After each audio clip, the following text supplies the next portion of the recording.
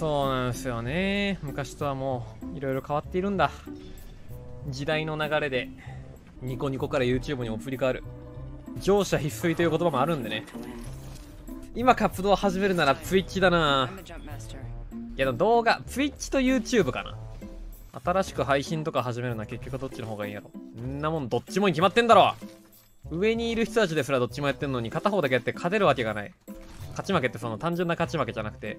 追い上げ速度的な意味でなんだけど上の方々より早く伸びていかないと一生伸びないわけなんだから今僕一番やばいと思ってるのは釈迦さんだけど数字ぶっ壊れてる。そうだと思ってるけど釈迦さんとかも1日23本 YouTube に上がって毎日配信も10時間ぐらいしてて誰が勝てんねんあれ。いや動画が自動で作れる仕組みねあれ Twitch 勢って実は1個秘技があって自分がおもろいおもろくない判別僕の場合しないといけないんだけど Twitch 勢って秘技クリップがあるからクリップで人気のある動画をまとめてその動画にするだけで面白い動画になるんだよ。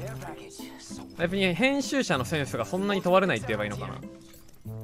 そうクリップで再生数多い順から適当にペタペタしたらもうそんだけで結構質のいい動画になるっていう。あれすごいシステムだよ。YouTube の切り抜きの何がむずいって何が面白いかを切り抜き師本人が判別しないといけない。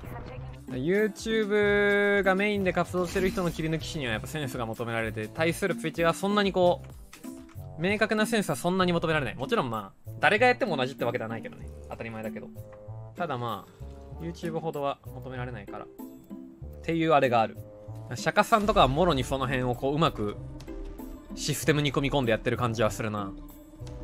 河川さんとかもちろん似た感じだね。あの辺なんか Twitch 組は大体似たようなこう座組で動いてる。やはり時代は Twitch なのか。いやなんか話してれば話してるほど Twitch 配信 YouTube 動画投稿っていうスタイルの強さがよくわかるな。